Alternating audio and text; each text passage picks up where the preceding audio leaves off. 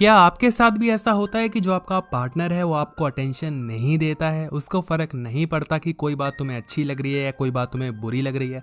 अगर ऐसा होता है तो आज मैं आपको पाँच टिप्स ऐसे बताने वाला हूँ, जो कि अगर आपने समझ लिए तो जो आपका पार्टनर है, वो आपके लिए सच में जान भी दे देगा और इतनी अटेंशन देगा ना कि आप पागल हो जाएँगे। छोटी छोटी बातें याद ज़रूर रखना। सबसे पहली चीज़ कि कभी भी थैंक यू बोलने से ना शर्माइए मत। मतलब थैंक यू नहीं बोलना है ऑलवेज उसको अप्रिशिएट करना है। अप्रिशिएट करने से ना क्या होता है कि उसको खुशी मिलती है। रिलेशनशिप में हम यही सोचते हैं कि मुझे खुशी चाहिए, मुझे अच्छा पल चाहिए, मुझे रिलेशनशिप से खुशी चाहिए चाहिए चाहिए। हम कभी देने की नहीं सोचते। रिलेशनशिप में दोनों लोगों को खुशी मिलनी चाहिए। जितनी खुशी के हकदार आप हो, उतना ही वो सामने वाला इंसान भी है। तो उसको खुश करने के लिए अगर आप उसको अप्रिशिएट कर सकते हैं तो इससे अच्छी बात कोई भी नहीं हो सकती। तो उसको प्लीज़ अप्रिशिएट किया करिए। छोटे छोटे काम वो जो भी करता है छोटे छोटी चीज़ जो आपको खुश करने के लिए करता है, उसको अप्रिशिएट आपको कर देना चाहिए, क्योंकि अगर आप खुश होना चाहते हैं तो वो भी होना चाहता है। और अगर सामने वाला खुश रहेगा तो ऑलवेज वो आपको हमेशा खुश रखने की कोशिश करेगा, और आप भी खुश रहोगे ही रहोगे। पॉइंट नंबर टू कि हमेशा खुश रहो, उसको दिखाओ कि तुम उस रिलेशनशिप में रहकर खुश हो। इससे क्या होता है कि आप सामने वाले को रिस्पेक्ट देते हो कि मैं तुम्हारे साथ रहकर खुश हूँ।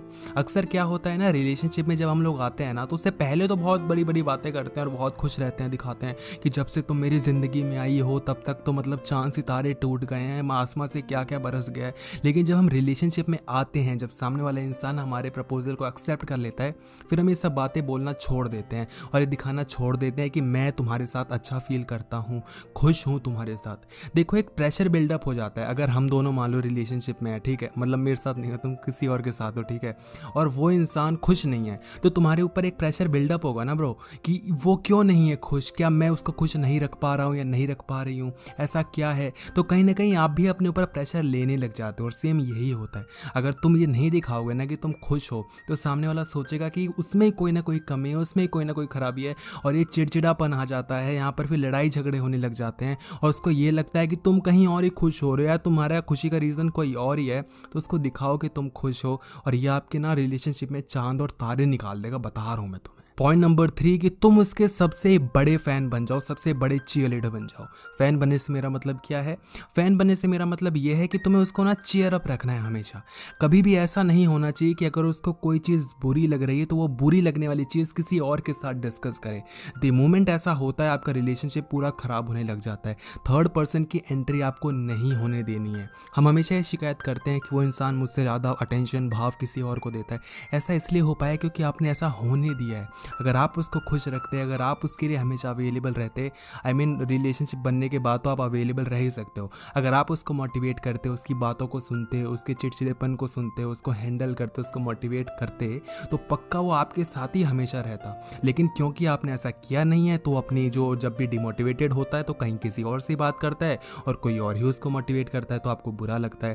तो समझो इस चीज़ को। आप हमेशा उसके फ़ैन बने रहो, उसको मोटिवेट करते रहो। अगर आप उसको मोटिवेट करोगे, अगर आप उसको खुश रखोगे तो इंसान भी आपको खुश रहेगा। तो इंपॉर्टेंट चीज़ ये है कि आपको उसकी बातों को सुनना चाहिए एटलीस्ट पॉइंट नंबर फोर कि उसको इतना कंफर्टेबल रखो ना कि वो आपसे कुछ भी बातें शेयर कर ले। देखो, एक तुम्हें एग्जांपल देता हूँ कि हम अक्सर ना गुस्सा हो जाते हैं, हम अक्सर ना बुरा मान जाते हैं सामने वाले की बातों को।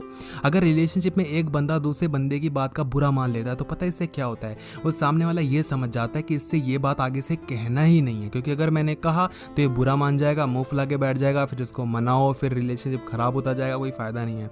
तो इससे एक गैप आ जाता है कम्युनिकेशन गैप आ जाता है। सामने वाले इंसान अब आपको वो चीज़ें नहीं बताएगा, कहीं ना कहीं अपने दिल में रखते जाएगा रखते जाएगा। और अगर वो दिल में रखते जाएगा रखते जाएगा रखते जाएगा तो कभी तो गुब्बारा फूटेगा ना। और जब वो फूटेगा तो भाई तहलका मच जाएगा। तो कोशिश ये करो कि अगर आपको कोई चीज़ बुरी भी लग रही है तो उसको आहिस्ते से समझा दो, प्यार से समझा दो। गुस्सा मत करो, उसको ऐसा मत दिखाओ कि अगर मैंने गुस्सा कर दिया तो फिर भाई समझ जाओ, सामने वाला आपको कुछ भी नहीं बताने वाला।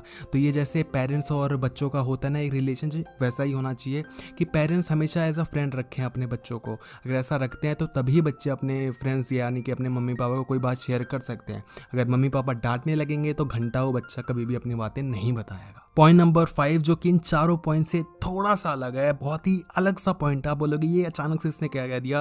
लेकिन समझने वाली बात यह है कि ज़रूरत से ज़्यादा किसी को ना अपने सर पे मत चढ़ाओ। अगर आप ज़रूरत से ज़्यादा किसी को अपने सर पे चढ़ा लोगे तो सर पे चढ़ेगा भी, और फिर क्या करेगा वो आपको एग्जैक्टली पता है। तो कभी भी ज़रूरत से ज़्यादा किसी को भाव नहीं देना चाहिए। उसको मोटिवेट करो, उसको दिखाओ कि तुम उसके साथ खुश हो, उसको ये दिखाओ कि तुम मतलब वो तुम्हारे साथ कंफर्टेबल हो सकती है, वो तुमसे कुछ भी बात कर सकती है, कुछ भी बात कर सकता है, लेकिन सर पे मत चढ़ाओ। अगर तुम सर पे चढ़ा लेते हो ना तो इंसान फिर बहुत गलत हरकतें कर देता है। तो आपको हमेशा लोगों को उतना ही भाव देना चाहिए जितना कि वो हकदार हैं। अगर आप हमेशा उनको ऐसे ही मोटिवेट करते रहोगे, ऐसे ही तारीफ़ करते रहोगे बिना कुछ किए तो इंसान कभी कुछ करेगा नहीं। जब वो कुछ करे, तभी आपको अप्रिशिएट करना है। अगर वो आपके लिए कुछ एफर्ट्स दिखा रहा है, तभी तो अप्रिशिएट करो ना। बिना एफर्ट्स दिखाए अप्रिशिएट करोगे तो एफर्ट कभी दिखाएगा नहीं। तो मतलब समझ लो ना, हमेशा ही ऐसा मत दिखाओ कि मैं तुम्हारे बिना जी नहीं सकता, तुम्हारे बिना मर जाऊँगा। तुम्हारे बिना मेरा क्या होगा? मैं तो भाई तुम्हारे लिए बुरा इमोशनल हो जाता हूँ। तुम्हारे बिना मेरा एक पल नहीं कटता है। तो ऐसा आपको नहीं दिखाना है। ज़रूरत से ज़्यादा भाव नहीं देना चाहिए। तो उम्मीद करता हूँ आपको वीडियो अच्छी लगी होगी। कमेंट बॉक्स में एक चैनल का लिंक है, जो हमारा नया चैनल है। प्लीज़ उसको जाकर सब्सक्राइब करें और वहाँ की भी वीडियो ज़रूर देखें। धन्यवाद।